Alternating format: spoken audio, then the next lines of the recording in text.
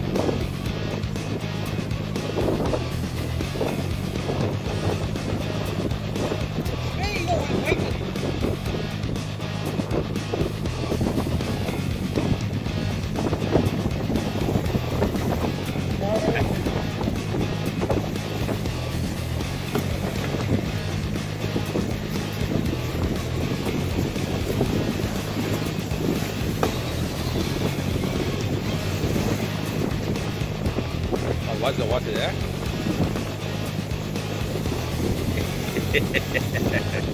there?